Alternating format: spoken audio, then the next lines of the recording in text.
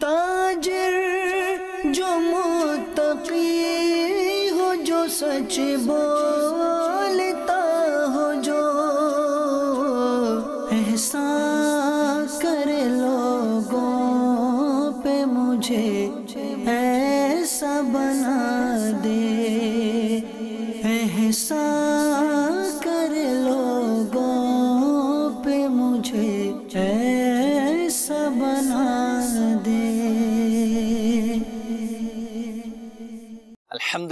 رب العالمین والصلاة والسلام علی سید المرسلین.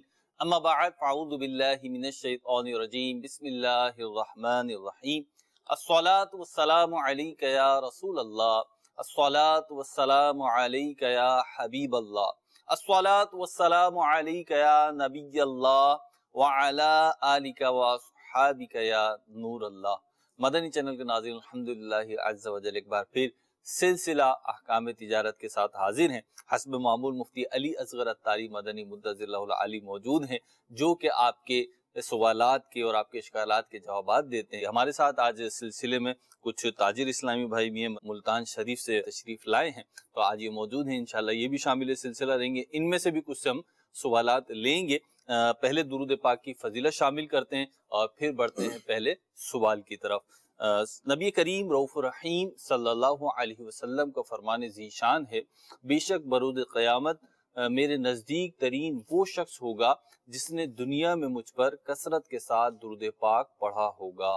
صلو علی الحبیب، صلی اللہ تعالی علی محمد صلی اللہ تعالی علیہ وسلم۔ آپ کی کال کی طرف بڑھتے ہیں، آپ کے سوال کی طرف بڑھتے ہیں اور پہلا سوال شامل سلسلہ کرتے ہیں۔ جی۔ دو لوگ مل کر کے ایک گاڑی لے رہا ہوں، آدھا آدھا پیسہ لگا رہا ہوں، اور جو منافع ہوگا وہ آدھا آدھا ہوگا۔ اور میں خود گاڑی چلانا چاہتا ہوں، تو کیا جو ڈرائیور کو تنخواہ دیتے ہیں وہ میں خود لے سکتا ہوں؟ یہ صورت صحیح رہے گی؟ ٹھیک الحمدللہ رب العالمین، والصلاة والسلام علی سید الانبیاء والمرسلین. اما بعد، فاعوذ باللہ من الشیطان الرجیم، بسم اللہ الرحمن الرحیم۔ تو دو بندہ مل کے گاڑی چلا رہا ہوں۔ جی۔ کا جو سوال ہے ایسا لگ رہا ہے کہ ہند سے ہے۔ جی۔ لہجہ جی۔ ایسا ہی ہے۔ بنگلہ زبان بولنے والے لگ رہے ہیں۔ اچھا بنگلہ۔ جی۔ دیکھیے یہ دونوں جب پیسے ملائیں گے جی۔ پیسے ملانے کے بعد اب جو چیز ہے وہ ان کی ہو جائے گی۔ دونوں کے برابر برابر تقسیم ہو جائے گی۔ ہے۔ اب ہونا تو یہ چاہیے کہ یہ چیز کرائے پر چلے۔ ٹھیک ہے۔ کرائے پہ چلنے کے بعد جو ہے اس کی جو آمدنی ہے وہ حاصل ہو اور دونوں باہم تقسیم کر لیں۔ ٹھیک۔ ہے اب یہ جو کہہ رہے ہیں کہ یہ خود اس کو کرائے پر لے لیتے ہیں۔ ٹھیک ہے۔ یعنی ایک پارٹنر خود چلاتا ایک پارٹنر خود چلاتا ہے ہے۔ جی۔ اس کی گنجائش موجود ہے۔ ٹھیک ہے۔ اچھا گنجائش اس طرح موجود ہے اس سے ایک ملتا جلتا مسئلہ ہے اس کی گنجائش نہیں ہے۔ مثال کے طور پر دو افراد نے مل کے ایک کاروبار شروع کیا۔ اس کاروبار کے اندر ایک شخص یہ کہتا ہے کہ میں زیادہ ٹائم دوں گا میری سیلری مقرر کی جائے۔ ٹھیک ہے۔ وہ جائز نہیں ہے۔ ٹھیک ہے زیادہ ٹائم دینے کی وجہ سے سیلری۔ ہاں۔ ٹھیک یہاں معاملہ یہ ہے کہ مثال کے طور پر آپ یہ سوچیں کہ دو آدمیوں کا گھر ہے۔ ہے جی۔ ایک اوپر کے پوشن پہ رہتا ہے ایک نیچے کے پوشن پہ رہتا ہے۔ جی۔ اور گھر دونوں کا مشترکہ ہے۔ ٹھیک ہے۔ اب اوپر والا کہیں جا رہا ہوتا ہے تو نیچے والا کہتا ہے کہ ٹھیک ہے یہ مجھے میں اس کا کرایہ دے دوں گا۔ مجھے کرایہ پر دے دو۔ صحیح۔ تو یہاں اس نے گاڑی کرایہ پر لی ہے۔ ٹھیک ہے۔ بطور ڈرائیور سیلری نہ لے گاڑی کرایہ پر لے لے۔ ٹھیک ہے۔ گاڑی کرایہ پر لے کے اس کا جو کرایہ بنتا ہے وہ کمپنی کو دے۔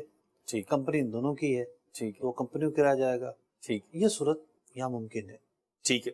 امید ہے آپ کو جو جواب مفتی صاحب نے ارشاد فرمایا سمجھ آ گیا ہوگا اور مزید رہنمائی کے لیے اور دیگر معاملات میں شرعی رہنمائی کے لیے دارالشتہ اہل سنت سے بھی آپ رابطہ کر سکتے ہیں۔ ایک کال شامل کریں گے اور پھر انشاءاللہ حاضرین میں جو ہمارے تاجر اسلامی بھائی ہیں، ان سے بھی ایک سوال شامل سلسلہ کریں گے۔ جی کال دیجیے میرا سوال یہ ہے کہ اگر کاروبار کے لیے کسی سے پیسے لیے جائیں تو کیا نفع دیا جائے گا؟ اگر جیسے کہ دو لاکھ روپے جس سے لیے جائے تو اس کو کیا نفع دیا جائے؟ سے کیونکہ یہ نہیں پتا ہے کہ میرا کیا مجھے نفع ہے کاروبار میں تو اندازن کیا نفع دیا جائے گا؟ ٹھیک ہے جی آپ نے کہا کیا دیا جائے اور مقصد میں اس میں یہ بھی بڑھا دیتا ہوں کیسے دیا جائے یعنی اس کی تقسیم کیسے ہو؟ میں ایک سوال کا اور اضافہ کر دیتا ہوں جی۔ کہ آپ نے کاروبار کے لیے پیسے لیے ہیں یا قرضہ لیا ہے؟ ٹھیک۔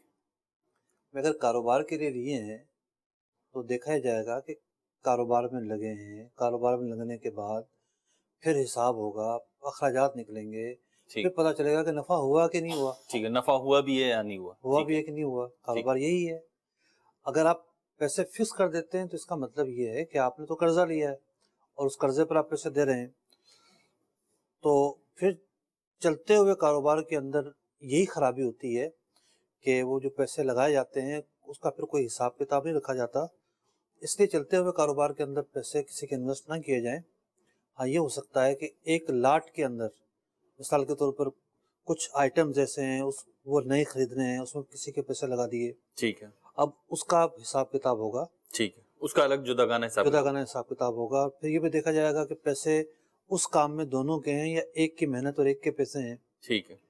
اور پھر یہ جو نفع کا ریشو طے ہوگا وہ جی۔ تناسب کے اعتبار سے ہوگا۔ ٹھیک۔ فگر کے اعتبار سے نہیں ہوگا کہ نفع ہوتا ہے تو اتنا فیصد آپ کا اتنا میرا۔ ٹھیک ہے۔ یعنی کاروبار کاروبار میں یا کسی بھی جگہ پہ انویسٹمنٹ کر کے منافع تو حاصل کیا جا سکتا ہے لیکن اس کی کچھ شرائط و قیود ہیں ان اصولوں کو فالو کرنا ہوگا جو آپ نے۔ ٹھیک ہے۔ ایک سوال ہم حاضرین میں سے بھی کرتے ہیں۔ جی اسلام بھائی میرا آپ سے سوال یہ ہے کہ دکاندار حضرات سے کسٹمر جو ہے کوئی چیز پروڈکٹ خریدتا ہے اس کے خریدنے کے بعد، گھنٹے بعد، دو گھنٹے یا کچھ دنوں کے بعد وہ اس کو واپسی ریٹرن کرنے کے لیے آتا ہے۔ تو اس میں کچھ دکاندار حضرات ایسے ہوتے ہیں جو خوش دلی کے ساتھ اپنے پروڈکٹ واپس لے لیتے ہیں اور پوری قیمت ان کو واپس کر دیتے ہیں۔ اور کچھ دکاندار حضرات ایسے ہوتے ہیں جو واپس نہیں لیتے تو ان کا واپس نہ لینا کیا ان کے لیے جائز ہے یا نہیں؟ اور کچھ دکاندار حضرات ایسے ہوتے ہیں جو واپس تو لیتے ہیں، لیکن وہ اس میں سے کچھ نہ کچھ ان پیسوں میں سے سو پچاس روپے، ڈیڑھ سو، دو سو روپے کٹوتی کر کے وہ پیسے واپس کرتے ہیں۔ تو ان۔ کا یہ کٹوتی کرنا ان کے لیے جائز ہے یا نہیں؟ اور۔ ایسے موقع پر دکاندار حضرات کو کیا کرنا چاہیے؟ ٹھیک ہے جی۔ کچھ خشک دلی سے لیتے ہیں کچھ خوش دلی سے لیتے ہیں۔ دیکھیے معاملہ یہ ہوتا ہے کہ جب کوئی چیز بیچ دی گئی ہے تو بیچنے والا فارغ ہو گیا اب وہ چیز خریدنے والے کی ہو گئی۔ اس چیز کے اندر کوئی خامی نکل آئے خرابی نکل آئے تو وہ کلیم کرنے کا اختیار رکھتا ہے واپس لے کر آئے گا۔ دکاندار کو واپس بھی لینی پڑے گی۔ بعض چیزیں ڈبہ پیک ہوتی ہیں، اس وقت اندازہ نہیں ہوتا کہ جناب کیسے نکلے گی۔ اس پتہ تو ہوتا ہے اس کے اندر ہے کیا۔ اب کوئی چیز خراب نکلی ہے تو وہ کلیم کرنے کا حق رکھتا ہے، یہ ہے پہلی صورت۔ دوسری صورت یہ ہوتی ہے کہ بس وہ گیا گھر لے کر، اب دل نہیں چاہ رہا، دل بدل گیا۔ بعض اوقات کوئی قریبی دوستوں میں سے، عزیزوں میں سے کوئی ایسی بات کر دیتا ہے اس سے دل خراب ہو جاتا ہے کہ تو نے مہنگی خرید لی جی۔ یا کلر یہ خرید نہیں خریدنا چاہیے تھا۔ کوئی کہہ دے ہو سکتا ہے کوئی کہہ دے کہ جناب یہ تو بہت زیادہ پیسے لگ گئے۔ جی۔ ٹھیک ہے۔ اب وہ واپس لے کر آیا۔ ٹھیک۔ اس کے اندر کوئی عیب نہیں پایا گیا۔ صحیح۔ تو دکاندار پر جبر نہیں کیا جا سکتا کہ وہ اسے واپس لے۔ ٹھیک۔ یہ ضروری نہیں ہے۔ یعنی دکاندار پہ واپس لینا لازم نہیں۔ لازمی نہیں ہے۔ ٹھیک ہے۔ خرید و فروخت ہو گئی تم نے فارغ ہو گئے۔ ٹھیک ہے۔ اب وہ واپس کیوں کرتا ہے؟ واپس کرنے کا تو اسے اختیار دل نہیں چاہ رہا۔ تو فیصلہ کرنے کا وقت تو وہ تھا جب یہ لے رہا تھا۔ ٹھیک ہے۔ اب اگر اس طرح چیزیں واپس دی جاتی رہیں تو پھر تو نظام درم برم ہو جائے گا۔ ٹھیک۔ ہے دکاندار کا یہ حق ہے کہ وہ چاہے تو نہ لے۔ صحیح۔ لیکن جو گاہک پکے ہوتے ہیں برابر خریداری کرتے رہتے ہیں یا شناسا ہوتے ہیں دکاندار ان کو واپس لے لیتا ہے۔ جی۔ دیکھتا ہے کہ چیز کے اندر کوئی خرابی ورابی تو نہیں انہوں نے پیدا کی۔ جی۔ واپس لے لیتا ہے۔ واپس وہ لے لیتا ہے تو اس کی مرضی ہے۔ ٹھیک ہے۔ اس کی مرضی اس نے لے لی۔ ٹھیک۔ اچھا اب تیسری صورت یہ تھی کہ وہ واپس تو لے رہا ہے جی۔ لیکن کم پیسوں کی لے رہا ہے۔ تو دیکھیے جب خریداری پہلی ہو رہی تھی تو ایسا کچھ کسی کے ذہن میں نہیں تھا یہ واپس لے کر آئے گا۔ صحیح۔ اب ایک نئی صورت اچانک پیدا ہو گئی۔ ٹھیک ہے۔ تو دکاندار اگر واپس لے رہا ہے اور نئی قیمت پر لے رہا ہے یعنی اس کو پیسے کم دے گا تو یہ ایک نیا سودا ہے۔ ٹھیک۔ اور پہلے سے مشروط بھی نہیں تھا۔ صحیح ہے۔ کہ بھئی اس شرط پر خریدتے ہیں کہ واپس لوگے تو کم کی لینی پڑے گی۔ پہلے سے مشروط بھی نہیں تھا۔ جی۔ اب اگر وہ چیز لے آیا اور دکاندار یہ کہتا ہے کہ بھئی ٹھیک ہے میں آپ کو اس کے اتنے پیسے دوں گا۔ ٹھیک ہے پانچ ہزار کی آپ نے خریدی تھی لیکن اب میں ساڑھے چار ہزار کی خریدوں۔ جی تو یہ ایک نئی ڈیل ہے۔ ٹھیک ہے۔ جس طریقے سے فریقین بارگیننگ کر سکتے ہیں کسی بھی ڈیل پر یہاں بھی بارگیننگ کا جیسے فرسٹ ٹائم بارگیننگ ہوئی تھی ایسے اب جی۔ اب بھی ہو سکتی ہے۔ ہو سکتا ہے۔ اب دکاندار کی طرف سے ہوگی۔ ٹھیک ہے۔ سوال اخلاقی طور پر جو ہے وہ کچھ چیزیں دکاندار کو دیکھنی چاہیے۔ اہ، گاہک کو اپنا بنانے کے لیے اور گاہک کو لبھانے کے لیے جی۔ تھوڑی سی جو ہے وہ نرمی دکھانی پڑے گی دکاندار کو۔ یہ بھی ایک گڈ ول ہے۔ جی ہاں گڈ ول ہے اور ایک ساکھ بنتی ہے۔ اور ایسے دکاندار کی مارکیٹ پوزیشن اچھی رہتی ہے۔ جی۔ اب دکاندار کو کیا کرنا چاہیے؟ دونوں تینوں صورتیں ہم نے بیان کر دی ہیں۔ اس سے بہرحال جبر تو نہیں ہے کہ آپ نے یہی کرنا ہے یہ نہیں کر سکتے۔ صورتحال بہت وسیع ہے۔ ٹھیک ہے مفتی صاحب نے شرعی اس کا جو پہلو تھا وہ بھی بیان کر دیا اخلاقی پہلو بھی بیان کر دیا۔ یہاں کراچی میں ایک دکان دیکھنے کا اتفاق ہوا خریداری تو نہیں کی لیکن نیت ہے کہ جب بھی وہ آئٹم خریدنا خریدوں گا۔ مفتی صاحب عموماً دکانوں پہ بورڈ لگا ہوا ہوتا ہے کہ ہمارے یہاں سے خریدا گیا مال واپس یا تبدیل نہیں ہوگا۔ اچھا۔ لیکن وہ بہت بڑا شو روم ہے۔ اور انہوں نے باقاعدہ بڑا سا ایک پینافلیکس لکھ کے لگایا ہوا ہے لائٹ اس کے پیچھے جگمگا رہی ہے اور اس پہ لکھا ہوا ہے کہ ہمارے سے ہمارے یہاں سے خریدی گئی چیز واپس بھی ہو جائے گی اور تبدیل بھی ہو جائے گی۔ تو یہ گڈ ول بنانے کا مارکیٹ آپ نے لگتا بورڈ دیکھا ہے۔ پوچھا بھی ہے کہ کس طرح واپس ہوتی ہے؟ کہ نہ کہ وہی کم نہیں مفتی صاحب مارکیٹ میں جو اچھے مطلب جو کاروباری لوگ ہوتے ہیں بالعموم اچھا تو نہیں۔ یہ اختیار مفتی صاحب نے بتایا ہے جو نہیں لیتا وہ بھی اچھا ہی ہے بہرحال لیکن یہ مارکیٹ میں ایک رول ہے کہ کاروبار بڑھانے کے لیے چلانے کے لیے ان چیزوں کو اپنانا پڑتا ہے اور اس سے جو ہے وہ کسٹمر پکا ہوتا ہے۔ آج کل جو آن لائن کمپنیاں کام کر رہی ہیں جی۔ سنا یہ ہے کہ ان کے یہاں بھی یہ ہے ایک طریقہ کار کہ وہ سات دن دیتے ہیں۔ جی۔ سات دن کے اندر اندر آپ بغیر کسی کلیم کے واپس کر سکتے ہیں۔ یعنی جی۔ یہ ضروری نہیں کہ اس میں کوئی ایپ پایا جائے۔ ایپ نہ بھی ہو تب بھی وہ واپس کرنے کا اختیار دیتی ہیں۔ تو وہ اپنی ایک ساکھ بنا رہی ہے مارکیٹ میں۔ جی۔ یہ یہ سمجھ میں آتا ہے۔ جی۔ تو آپ کو بھی اگر کوئی کاروباری نقصان نہیں ہوتا اور کوئی اندیشہ نہیں ہے تو بہرحال دکاندار حضرات، کاروباری حضرات جو ہیں، یہ ایک اپنا خوبصورت پہلو رکھیں گے سامنے تو اس سے جو دینی فوائد جو ہیں وہ تو یقیناً حاصل ہوں گے، دنیاوی فوائد بھی حاصل ہوں گے۔ کال اور شامل کرتے ہیں۔ جی۔ عرض حضور مفتی صاحب سے ایک سوال پوچھنا تھا بھی، ہم ادھر پنڈی رہتے ہیں، جہاں بھی راجہ بازار کے جو سامان میں جاتے ہیں، وہ اس وقت وہ فٹافٹ دے دیتے ہیں، مگر لکھا ہوتا ہے، واپس کرنا جو ہے نا، واپس نہیں کیا جائے گا یا اس کے پیسے نہیں دیے جائیں گے۔ اب سوال کا تو جواب۔ سودا ہوتا ہی اس لیے ہے کہ انتقال ملکیت ہو جائے۔ گاہک کی ملکیت میں سامان چلا جائے اور دکاندار کی ملکیت میں پیسے آ جائیں۔ تو ٹھیک ہے جس طرح جائیداد اور پراپرٹی ہوتی ہے اس کی انتقال ملکیت کاغذات کے ذریعے ہوتا ہے۔ یعنی کاغذات شرط تو نہیں ہے لیکن سرکاری سطح پر کاغذات کے ذریعے ہوتا ہے۔ تو یہاں بغیر کاغذات کے ایک دوسرے کی چیز کے مالک بن جاتے ہیں۔ تو اس سودے کا اگر کوئی فائدہ ہی نہ نکلے یا مالک ہی نہ بنے تو سودا کس چیز کا پھر؟ جی۔ سودا تو ہو گیا۔ اب ہونے کے بعد ایک نئی صورتحال پیدا ہوئی ہے۔ اس میں بھی شریعت نے ایک بات تو بڑے واضح طور پر بیان فرما دی کہ چیز کے اندر اگر عیب نکلا ہے کوئی خامی خرابی نکلی ہے تو دکاندار کو واپس کرنا پڑے گی۔ اور اگر خامی خرابی نہیں نکلی تو وہ اختیار رکھتا ہے چاہے تو نہ لے۔ بعض اوقات کسٹمر جو ہے وہ انسس کر رہا ہوتا ہے اور دکاندار کو جو ہے وہ سخت جملے بھی بول دیتا ہے کہ تم تو بڑے مفاد پرست ہو جی۔ جب ہم خریدنے آئے تھے تو یوں کھول کھول کے چیزیں دکھا رہے تھے، چائے کا بھی پوچھ رہے تھے، تو کولڈ ڈرنک کا بھی پوچھ رہے تھے۔ اب ہم واپس کرنے آئے تو تم نے تو منہ ہی پھیر لیا اور یوں کر لیا۔ تو اب وہ دکاندار جو ہے اس کو بلیم دے رہے ہوتے ہیں اور بعض اوقات تو وہ شرعی حکم بھی لگا رہے ہوتے ہیں۔ تو حرام کام کر رہا ہو، ناجائز کام کر رہا ہو، زیادتی کر رہا ہو۔ اب عوام ہے وہ تو جو منہ میں آتا ہے پھر بولتے ہیں۔ تو یہ خریداری کرتے ہوئے سوچنا چاہیے بالکل سوچنا چاہیے۔ بالکل سوچنا چاہیے۔ ورنہ جو شریعت مطالعہ نے ایک طریقہ بتایا اس پر عمل کر لیں۔ جی۔ تین دن کے اختیار پر خرید لیں۔ پہلے سے طے کر لیں۔ ہاں اب دکاندار کو واپس کرنا ضروری ہو جائے گا۔ کہ بھائی تین دن کا اختیار ہے اس میں پسند آئے تو ٹھیک ورنہ واپس کر دیں گے۔ ٹھیک ہے۔ اب لازمی ہو جائے گا اس پر کہ وہ واپس لے گا ہی لے گا۔ چاہے ایب نہ بھی ہو۔ چاہے اب نہ بھی ہو۔ ٹھیک ہے جی۔ چلیں احکام تجارت دیکھتے رہیں آپ کو۔ امور معاشرت کے بھی جو ہے بہت ساری چیزیں سیکھنے کو ملتی رہیں گی۔ ہماری شریعت اسلامیہ جو ہے وہ دونوں طرف جو افراد ہوتے ہیں جیسے کسٹمر اور اور دکاندار پرچیزر اور سیلر دونوں کو جو ہے وہ باہم جو ہے منفیت پہنچا رہے ہوتے ہیں فائدہ پہنچا رہے ہوتے ہیں۔ ایک سوال جو ہے۔ جگہوں پہ ہوتا ہے جیسے گاڑی وغیرہ میں بھی ایسا ہوتا ہے۔ جی۔ تو کہتے ہیں ٹھیک ہے آپ ٹرائی لے لو ایک دو دن رکھ لو۔ جی۔ نہیں سمجھ میں آیا تو جی، واپس جی۔ کر دینا۔ یہ گنجائش تو ہے۔ ٹھیک ہے۔ ایک سوال مزید شامل کرتے ہیں۔ سلسلے میں سوال یہ ہے کہ ایک پارٹی کو مال کی ضرورت ہے۔ وہ پارٹی کے پاس جاتی ہے کہتی ہے کہ مجھے آپ کچھ رقم دے دو۔ جس طرح کہ پانچ لاکھ روپے دے دو میں کراچی یا لاہور سے شاپنگ کر آتا ہوں۔ آپ پرافٹ طے کر لو اور دس ہفتوں میں یا آٹھ ہفتوں میں آپ کو میں کلیئر کر دوں گا بل۔ یہ کرنا کیسا؟ یعنی وہ پیسے لے کے اوپر نفع دیں گے ان کو۔ جی۔ تو یہ جو پیسے ہوئے قرضہ ہی ہوئے۔ تشریف رکھیے۔ قرضہ ہوئے اور قرضے کے اوپر نفع دینا سود ہے۔ اس کا جائز طریقہ یہ ہو سکتا ہے جو وہ سامان خریدنے جا رہا ہے۔ پارٹی کو کہے کہ تم مجھے اپنا وکیل بنا دو اتنے کا میں نے سامان خریدنا ہے۔ میں وہ سامان خرید لیتا ہوں۔ خرید کر جب لے آؤں گا مال تو پارٹی کا ہی ہے جب آپ اس کے نمائندے بن کے گئے ہیں۔ جی۔ پارٹی کا مال ہوگا وہ۔ ٹھیک۔ اب جب خرید کر لے آئے تو پارٹی کے حوالے کر دے۔ کہ بھئی یہ سامان آ گیا ہے۔ ٹھیک ہے۔ اسے قبضے میں دے دیں۔ صحیح۔ یا اس کے گودام کا ایڈریس لکھوا دیں وہیں آ کے اترے مال۔ ٹھیک ہے۔ اب اس پارٹی سے آپ اس کو تھوڑا نفع دے کے وہ سامان خرید لیں۔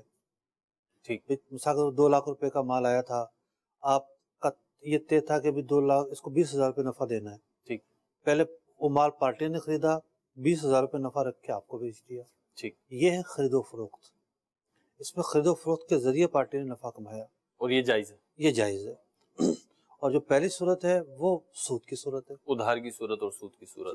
مطلب اس کو اگر مثال کے ذریعے واضح کرنے کی کوشش کریں تو یوں سمجھ لیں میں کپڑے کا کام کرتا ہوں اور مجھے مزید جو ہے کپڑا درکار ہے اپنی دکان کے لیے اپنی شاپ کے لیے تو میں کسی سے پانچ لاکھ روپے چاروں کے مل جائیں تو پانچ لاکھ روپے کا مجھے مال خریدنا ہے۔ انتظار بھائی کو ہی لے لیتے ہیں۔ تو انتظار بھائی کے پاس میں کیا کہ پانچ لاکھ کا مال خریدنا ہے اور اس پہ آپ کو تقریباً جو ہے چالیس پچاس ہزار روپے کا پروفٹ تقریباً کم و بیش مل جائے گا۔ تو ان سے پانچ لاکھ روپے لیے اس شرط پہ کہ بھئی آپ وکیل کر دیں مجھے۔ اب میں نے پانچ لاکھ روپے کا مال خریدا کپڑا خریدا اور ان کی ملک کر دیا ان کو دے دیا قبضے میں قبضے میں قبضے میں دے دیا ان کے پاس لا کر۔ اور پھر ان سے وہ پانچ لاکھ پچاس ہزار روپے کا چالیس ہزار روپے کا یا چھ لاکھ روپے کا وہ خرید لیا۔ یہ ٹھیک ہے۔ اتنے ادھار پر۔ ٹھیک ہے وہ مطلب مدت طے ہو جائے۔ دو مہینے میں چار مہینے میں وہ مدت طے ہو جائے۔ ٹھیک ہے۔ امید ہے انتظار بھائی آپ کے سوال کا جو ہے تشفی وقت جواب مل گیا ہوگا۔ ایک کال شامل کرتے ہیں پھر آپ کی طرف آئیں گے انشاءاللہ۔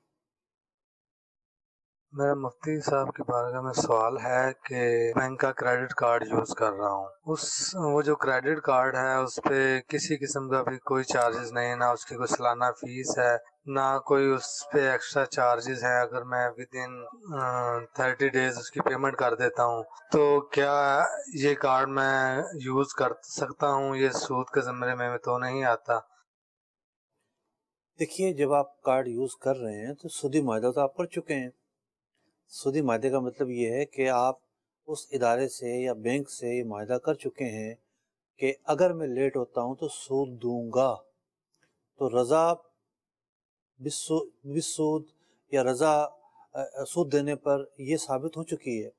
تو گناہ کے ارادے پر رضامند ہونا یہ بھی گناہ ہے۔ یعنی گناہ کا ارادہ کر لینا جی۔ کہ بھئی ایسا موقع آیا تو میں پیسے دوں گا بھی۔ اور یہ ہم نے سنا ہے جو لوگ یوز کرتے ہیں بعض اوقات بھول جاتے ہیں۔ جی۔ یاد نہیں رہتا۔ ملازمین کو دیا ہوتا ہے۔ وہ پیسوں کی ادائیگی کرنے سے رہ جاتے ہیں۔ ٹھیک اور پھر بینک سود ڈالنا شروع کر دیتا ہے۔ تو وہ دوسرا گناہ ہوگا۔ صحیح۔ پہلا گناہ تو ہو چکا ہے کہ نیت کا۔ کہ انہوں نے رضامندی کا اظہار کیا۔ فارم ٹھیک پہ جب سائن کیے ہیں فارم پہ لکھا ہوا ہے۔ ٹھیک ہے۔ اگر آپ لیٹ ہوں گے تو آپ کو سود دینا پڑے گا۔ انہوں نے کہا ٹھیک ہے۔ ایک ناجائز معاہدے سے رضا ایگری ہو گئے۔ ایگری ہو گئے۔ تو یہ گناہ ان سے ہوا؟ ٹھیک ہے۔ اب دوسرا گناہ اس وقت ہوگا جب یہ سود بھی دیں گے۔ استغفر اللہ۔ اور ایسے بعض اوقات نوبت آ بھی جاتی ہے۔ تو اسی لیے کریڈٹ کارڈ جو بنوانا ہے اس کو ہم ناجائز اسی لیے کہتے ہیں کہ اس میں لازمی طور پر پہلا معاہدہ کرنا پڑتا ہے کہ میں سود دوں گا۔ اس کے بجائے جو ہے ڈیبٹ کارڈ یوز کرنا چاہیے۔ وہ آپ کے اپنے پیسوں پر مشتمل ہوتا ہے۔ آپ آپ کو اس میں قرض کا کسی قسم کا معاہدہ نہیں کرنا پڑتا۔ مفتب جو لوگ اس کے یوں کہہ لیں کہ اجازت چاہتے ہیں، جو لوگ اس کی اجازت چاہتے ہیں کہ کریڈٹ کارڈ کی ہمیں اجازت مل جائے، وہ ہمارے سلسلے میں بھی سوال آئے، ویسے بھی یہی کہتے ہیں کہ بھئی اگر ہم لیں گے نا ود ان منتھ واپس کر دیں گے ریٹرن کر دیں گے، تو کوئی چارجز نہیں لگیں گے، وہ یہی ایک بات پیش کرتے ہیں۔ تو پھر ضرورت ہی کیا ہے لینے کی؟ وہ کون سا چارم ہے کہ جو ہے نا وہ پھر کریڈٹ کارڈ کے ذریعے لیں؟ اگر اتنے ہی ان میں اپنی مالی آسودگی پہ بھروسہ ہے کہ میں اتنا ویل آف ہوں کہ لگنے ہی نہیں دوں گا میں تو اس سے پہلے ہی دے دوں گا۔ دیکھیں اس پر ہم نہیں جا رہے کہ وہ کیوں لیتے ہیں۔ ٹھیک ہے۔ اگر طریقہ جائز ہو تو یہ ہم سوچیں گے نا۔ صحیح۔ طریقہ جائز۔ کیوں نہیں؟ ٹھیک۔ تو اس میں غیر شرعی جب بات, پائی جا رہی ہے ٹھیک ہے۔ تو اب اگلی بات کا تو سوال ہی پیدا نہیں ہوتا۔ ٹھیک۔ ہے اس رستے پہ جانا ہی نہیں۔ جی ہاں۔ ٹھیک۔ ہے آپ کی طرف سے سوال لیں گے۔ کون اسلامی سوال کر السلام علیکم ورحمۃ اللہ وبرکاتہ۔ وعلیکم السلام ورحمۃ راشد رضا اتاری ملتان شریف سے حاضر ہوں۔ جی۔ میرا کپڑے کا کاروبار ہے۔ سوال یہ کرنا ہے کہ آج کل ایسا بھی ہوتا ہے کہ ایڈوانس رقم دے کر سستے ریٹ پر مثلا پچاس ہزار میٹر مال بک کر لیا کہ یہ اس ریٹ پر پہلے سے ایڈوانس رقم دے دی اتنی رقم کا مال اس ریٹ پر میرا ہو گیا۔ تیس ہزار میٹر تو میں آپ سے لے لوں گا وقتاً فوقتاً۔ بیس ہزار میٹر جب اس کے ریٹ ہائی ہو جائیں گے دو ماہ بعد تین ماہ بعد جب سیزن ہوگا فل سیزن ہوگا تو بیس ہزار میٹر جو اس وقت ریٹ ہوگا اس ریٹ کے مطابق آپ مجھے رقم واپس کر دینا۔ ایسا کرنا کیسا؟ تیس ہزار میٹر تو کپڑا لیا اس نے۔ سودا پچاس ہزار میٹر کا کیا۔ ٹھیک ہے۔ پیمنٹ کتنے کی کی ایڈوانس میں؟ پچاس ہزار ہی کی کی۔ اچھا۔ جس میں سے تیس ہزار میٹر تو لے لیا۔ قبضے میں لے لیا۔ ٹھیک ہے۔ بیس ہزار ان کے پاس ہی ہے۔ دو ماہ تین ماہ بعد جب ریٹ ہائی ہوگے جو موجودہ ریٹ اس وقت ہوں گے۔ ٹھیک۔ دس روپے میٹر طے کیا تھا لیکن اس وقت بیس روپے میٹر ہو گیا۔ تو اب بیس روپے میٹر کے حساب سے بیس ہزار میٹر کی رقم آپ مجھے واپس کر دینا۔ کپڑا نہیں دیں گے رقم دیں گے پھر بیس ہزار میٹر۔ ٹھیک ہے۔ یہ تو سٹا بازی ہے۔ یہ سٹا بازی ہے۔ سٹا بازی یوں ہے جوا ہے کہ تیس ہزار میٹر تو کپڑا پہلے سے پتا ہے کہ کپڑا خریدنا ہے تیس ہزار میٹر ہے۔ جی۔ تیس ہزار میٹر کی جو ڈیل ہے یہ تو کسی حد تک درست ہو سکتی ہے۔ ٹھیک ہے۔ اب جب پہلے سے پتا ہے کہ بیس ہزار میٹر تو کپڑا خریدنا ہی نہیں ہے۔ جی۔ اب مثال کے طور پر دس روپے میٹر کے حساب سے بیس ہزار میٹر کے پیسے دے دیے۔ جی۔ اور اسے پتا ہے کہ مارکیٹ نیچے آ گئی تو اس کے پیسے گئے۔ اور مارکیٹ اوپر آ گئی تو اس کو دینے پڑیں گے۔ ٹھیک ہے۔ تو یہ جو بیس ہزار میٹر کا نام لے کے رقم جمع کروائی گئی جی۔ اور واپسی میں کپڑا نہیں لینا رقم ہی لینی ہے۔ جی۔ تو یہ سیدھی سیدھی جو ہے جوئے کی صورت ہے؟ ٹھیک ہے۔ اور مطلب یہ جو ایڈوانس کے عوض ریٹ کم کرایا؟ ایڈوانس کے عوض ریٹ کم کروائیں یہ صورت نہیں ہوتی یہاں پہ۔ عام طور پر یہ ہوتا ہے کہ اتنی بڑی مقدار میں کپڑا جو ہے وہ اویلیبل نہیں ہوتا۔ کپڑا اویلیبل نہیں ہوتا وہ بنا کے دینا ہوتا ہے۔ تو بے استثنا کے اندر پیشگی پیسے دینے کی گنجائش ہوتی ہے میکنگ پائی جاتی ہے۔ لیکن یہ تو سرے سے ڈیل ہی غلط ہے۔ اور اگر دونوں چیزیں ملی ہوئی ہیں جی۔ تو جو کپڑے کی ڈیل ہے وہ بھی غلط ہوگی۔ یعنی پہلی ڈیل کی بھی پھر اجازت نہیں ہوگی۔ نہیں ہوگی جس کی صورت بہرحال ہو سکتی تھی۔ تو یہ عام ہو رہا ہے مارکیٹوں میں؟ جی اس طرح کی صورت بنتی چلی جا رہی ہے۔ اب یہ ہوتا ہے کہ جو فیکٹری والا ہے اس کو بہت ساری پارٹیوں کو مال بیچنا ہوتا ہوگا۔ ٹھیک۔ تو وہ بطور انویسٹ کے رقم لے رہا ہوتا ہے؟ جی۔ کہ بیس ہزار میٹر کا اس کو پیسہ مل جائے گا جی۔ اور وہ جب مال بنا کے بیچے گا تو لام والا اس پر نفع کمائے گا اور واپسی میں وہ زیادہ لٹا دے گا۔ ٹھیک ہے۔ تو سود اور جوئے سے سود خالی نہیں ہے۔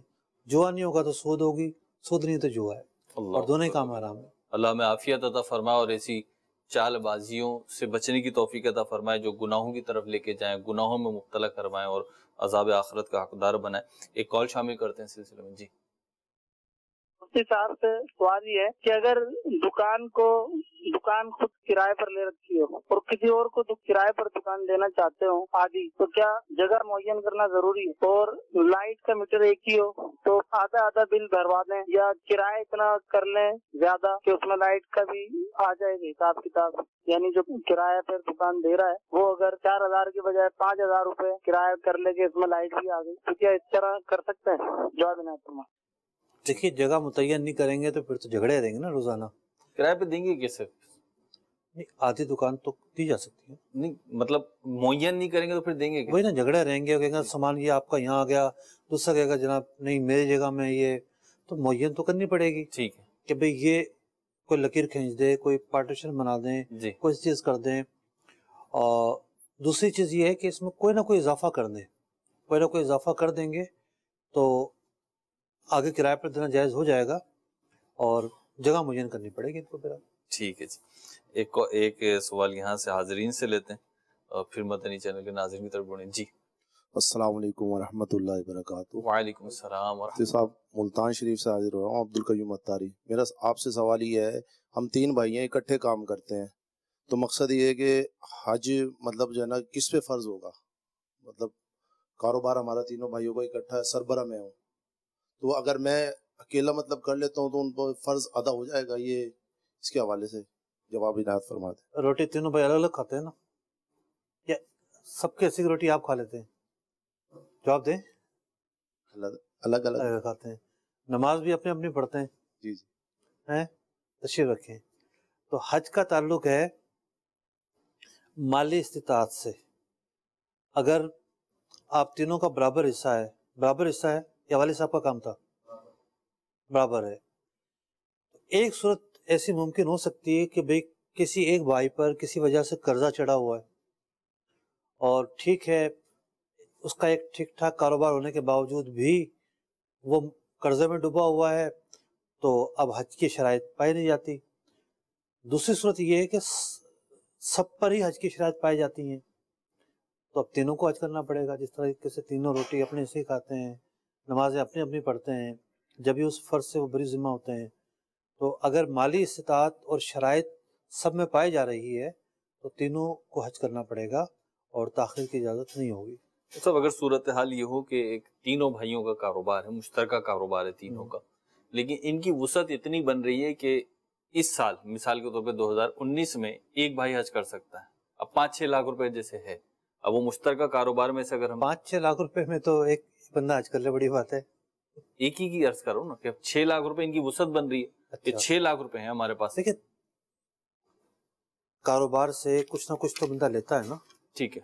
کسی کے پاس ہو سکتا پرسنل سیونگ خرچ ہو چکا ہو کسی کے پاس موجود ہو۔ ہر ایک اپنی اپنی جو ہے انفرادی بیلنس کو سامنے رکھے گا۔ ٹھیک ہے۔ اور یہ فیصلہ کرے گا کہ مجھ پر حج فرض ہے یا نہیں ہے مالی طور پر۔ ٹھیک ہے۔ فرض ہے تو کرنا پڑے گا۔ ٹھیک ہے یعنی پرسنلی جو ہے انڈیویجلی اس کی انکم کی وہ کیفیت کیا ہے اور جی۔ سیونگ کی کیفیت کیا ہے وہ دیکھتے ہوئے پھر فیصلہ ہوگا۔ ٹھیک ہے۔ جی حضرت آپ مائک جلدی جلدی دیتے ہیں ہمارے مدنی چینل کے ناظرین اتنا انتظار نہیں کر پاتے۔ والیکم السلام۔ صاحب سے سوال یہ ہے یہ پراپٹی کا کام جو ہے کمیشن لینا کیسا ہے؟ کہ دونوں طرف سے لینا ہے۔ کسی سے کہتے ہیں ہم دس ہزار روپے آپ دے دینا آپ سے کہیں گے بھی ایک لاکھ روپے آپ دے دینا۔ تو ایسا کرنا کیسا ہے؟ بڑا آپ نے جیب تقابل کیا ایک دس ہزار ایک سے ایک لاکھ جی۔ میں جواب دیتا ہوں۔ مثال کے طور پر بیان کیا ہوا انہوں نے؟ مطلب ویسے یہ پریکٹیکل ہے۔ یعنی بعض اوقات ایسا ہوتا ہے کہ سودا جو بکنے کے لیے مارکیٹ میں آیا اس کی ڈیمانڈ بہت ہے۔ ایک پلاٹ آیا ہے اور سو خریدار ہیں۔ اچھا۔ تو اب جو بیچنے والا ہے نا تو وہ کہتا بھائی میں کوئی خاص کمیشن نہیں دوں گا کیونکہ ڈیمانڈ تو ہے اور ڈیمانڈ بکی جانا اسے۔ آپ نہیں بیچو گے نہ بیچو کوئی اور بیچ دے گا۔ تو پھر وہاں پہ جو ہے نا کچھ یہ جو کمیشن ہوتا ہے وہ کم ہو جاتا ہے کہ چلو آپ نہیں دینا جو خرید رہا ہوں اس سے لے لیں گے تو یوں ہو جاتا ہے۔ پہلی بات تو یہ ہے کہ کمیشن پراپرٹی کے لین دین پر جو بروکر لیتا ہے اس کی گنجائش موجود ہے یہ جائز ہے۔ اور کمیشن لینے یعنی بروکر کا کام ہوتا ہے دو پارٹیوں کو ملوانا۔ دو پارٹیوں کو ملوا کر وہ اپنی محنت وصول کرتا ہے۔ اور یہ پراپرٹی کی بات نہیں کر رہا میں، لیکن کسی نہ کسی صورت میں کمیشن جو ہے، یہ عہد رسالت میں بھی موجود تھا۔ اور اس کے بعد بھی یہ موجود رہا۔ آج تو بہت سارے شعبوں میں موجود ہے۔ دوسرا سوال آپ کا یہ تھا کہ دو طرفہ کمیشن لینا۔ تو جس کام کے اندر دو طرف سے کمیشن لینے کا عرف ہو، وہاں اس کی گنجائش ہوتی ہے۔ اب پراپرٹی کے کام میں دو طرف سے کمیشن لینے کا عرف موجود ہے۔ تو جتنی بھی کمیشن لی جاتی ہے، مثال کے طور پر دو فیصد لی جاتی ہے۔ دو فیصد لے سکتے ہیں۔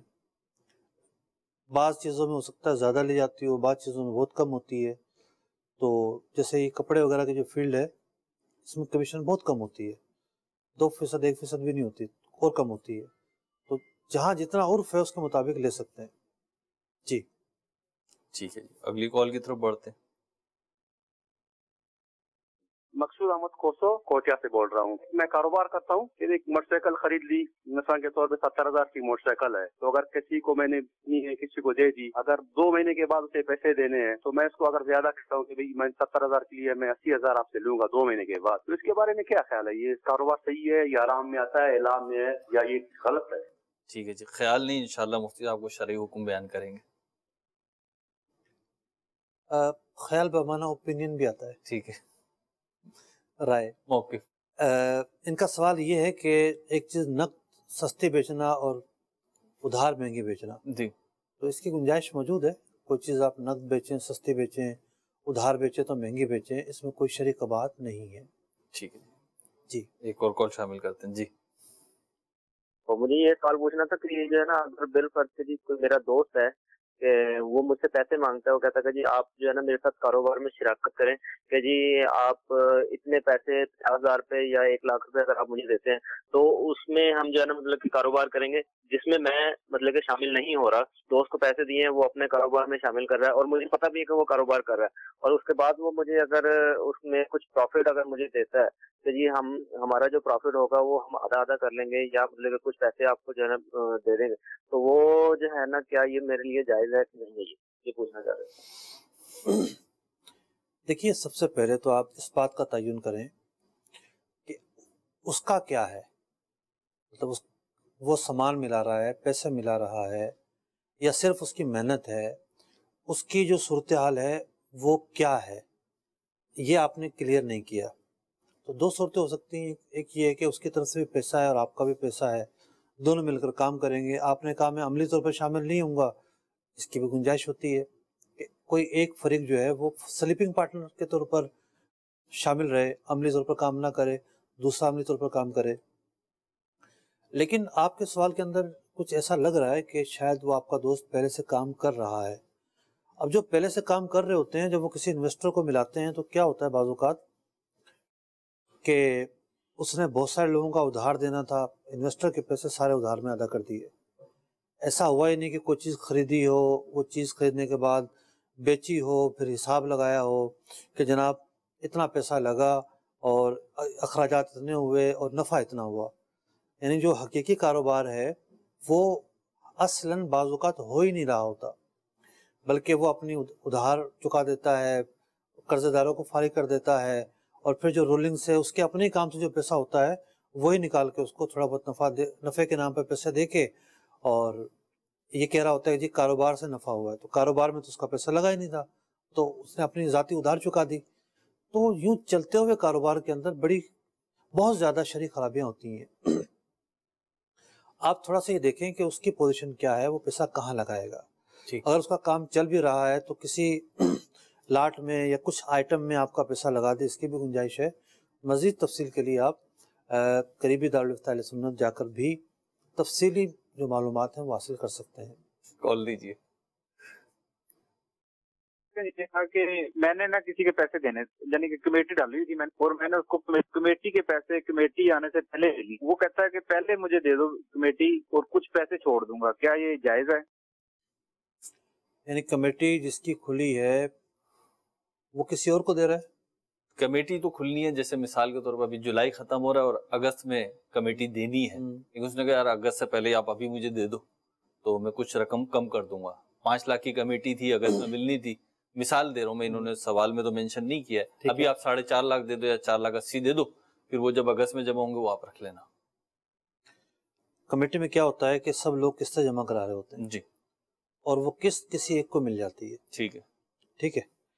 اب جو کمیٹی بھرنے والا ہے سارے پیسے اس کے تو نہیں ہوتے نا؟ جی۔ اب تو یہ سارے پیسے اس سے لے رہا ہے۔ جی۔ تم مجھے پیسے دے دو میرے پیسے آئیں گے تو لے لینا۔ جی۔ یعنی اس نے ایک بندے سے قرضہ لیا۔ جی۔ اور اس قرضے کے بدلے اس نے زیادہ پیسے لوٹائے۔ جی۔ خالص سود یہی تو ہے۔ تو یہ سود لینے دینے میں شمار ہو۔ خالص سود یہی ٹھیک ہے۔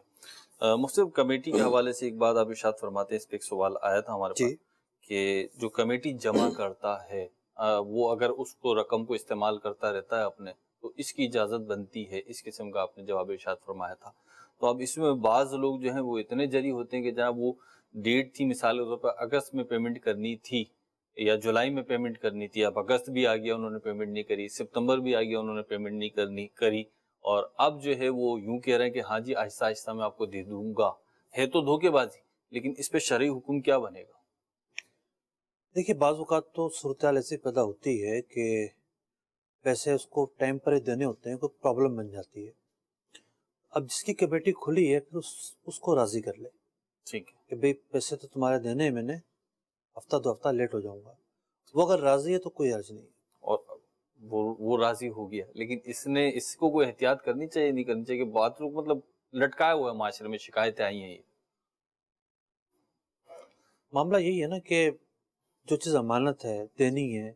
وہاں ذمہ داری مزید بڑھ جاتی ہے۔ اور ہمارے ہاں المیہ یہ ہے کہ اپنے مال کی تو بڑی حفاظت کریں گے بڑا خیال رکھیں گے۔ جی۔ دوسروں کی چیز جب پاس آ گئی بس اس کو چاہیں گے کہ بس نہ ملے۔ ٹھیک۔ تو یہ طرز عمل غلط ہے۔ اگلی کال دیجیے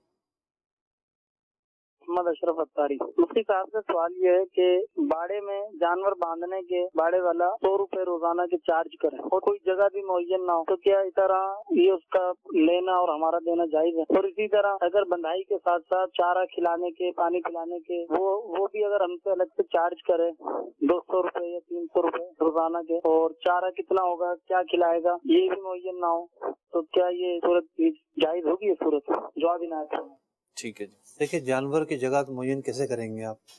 کا مطلب ہے کھٹے سے باندھ کے رکھنا ہے ہاں؟ تو باڑا ہے اس کے اندر بھی آپ کا جانور رہے گا۔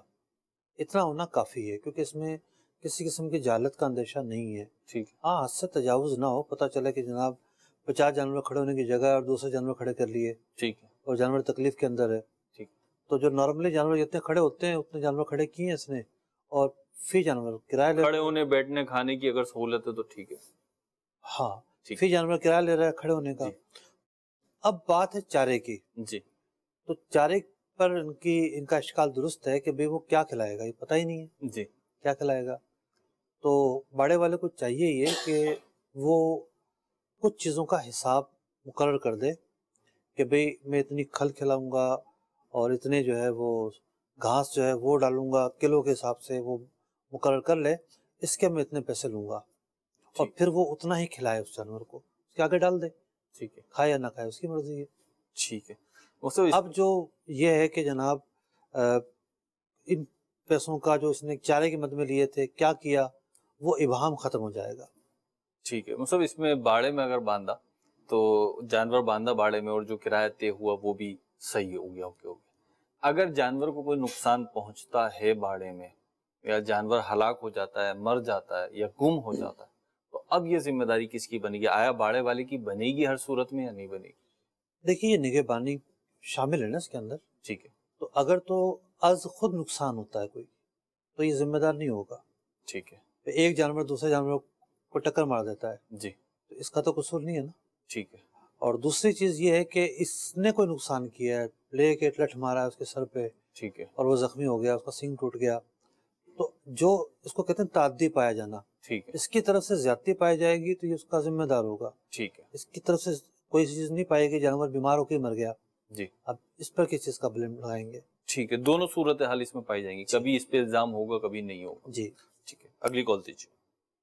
سوال یہ ایک چیز بازار میں چھتیس سو کی ملتی ہے۔ اگر وہ بندہ دوسرا مانگتا ہے، بولتا بھائی مجھے لے کے دو۔ اگر اس کو ریٹ کر کے دے بندہ مثلاً چار ہزار کی، تو وہ جائے بھی یا نہ جائے؟ دیکھیے، جب آپ کوئی چیز بیچ رہے ہیں، آپ کی دکان ہے، تو لامحالہ آپ ہول سیلر سے لے کر آتے ہیں۔ ہول سیلر آپ کو سستے دیتا ہے۔ اسے سستے لے کر آئے آپ نے گاہک کو مہنگی دی۔ اسی طریقے سے ہول سیلر فیکٹری سے لے کر آ رہا ہوتا ہے۔ یا کسی اور آگے سے لے کر آ رہا ہوتا ہے چار روپے، وہ بھی اپنے پیسے، چار پیسے یا چار روپے رکھتا ہے اور وہ آپ کو دے رہا ہوتا ہے تو کاروبار اسی چیز کا نام ہے کہ ایک آدمی مارکیٹ سے چیز خرید کے اپنا نفع رکھ کے آگے بیچ رہا ہوتا ہے۔ تو چھبیس سو کی کوئی چیز خرید کے اگر چار ہزار کی بیچتا ہے تو اس میں کوئی خرابی نہیں ہے۔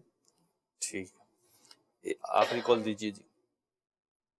میں ایک مینوفیکچرنگ انڈسٹری ہے میرے پاس، نیل بلی تذاب جو ہے وہ میں بناتا ہوں۔ میرا سگا بھائی ہے۔ میرا تقریباً جو ہے وہ پچاس لاکھ کے لگ بھگ جو انویسٹمنٹ ہے، ان کی جو ہے وہ پانچ لاکھ روپیہ انہوں نے مجھے دیا ہے کہ بھائی یار آپ کاروبار کر رہے ہیں، یہ بھی لگا رہے اب اس کو میں نے لے لیا، کچھ چھ مہینے ہو گئے ہیں۔ تو میں اپنے طور پہ کیلکولیشن تیار کر لی کہ بھائی میرا جتنا پروفٹ ہوتا ہے پچاس لاکھ پہ، تو اس کو پانچ لاکھ پہ ڈیوائڈ کر کے وہ میں ان کو پے کر دیتا ہوں۔ ان ٹوٹل پرافٹ جتنا ہوا ہے اس پچپن لاکھ کے حساب سے پانچ لاکھ کا کتنا ہوا۔ اب کبھی کبھی ذہن میں آتا ہے کچھ دوست بھی کہتے ہیں کہیں یہ سود تو نہیں ہے لیکن وہ کبھی کم ہوتا ہے کبھی زیادہ ہوتا ہے۔ کبھی ان کو کچھ اور رقم ہوتی ہے کبھی کچھ اور ہوتی ہے کبھی کچھ اور وہ سیل پہ ڈپینڈ کرتا ہے۔ میری جتنی سیل ہوتی ہے میں اس کے حساب سے پروفٹ کیلکولیٹ کر لیتا ہوں۔ کہیں یہ سود کے زمرے میں تو نہیں آ رہا۔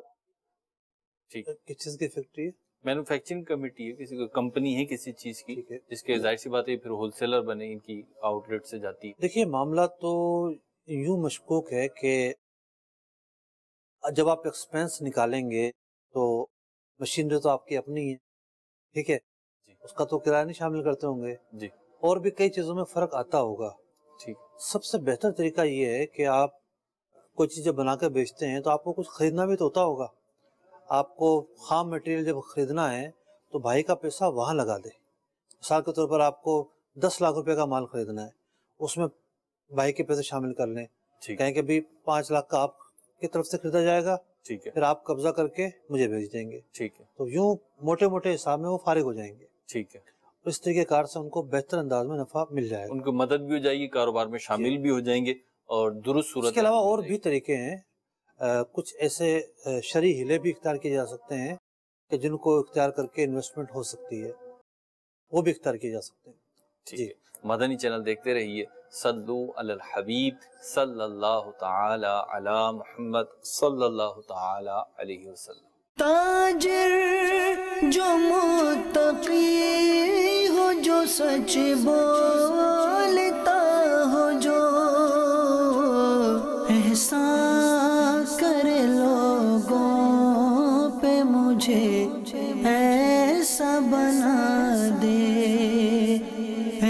sun.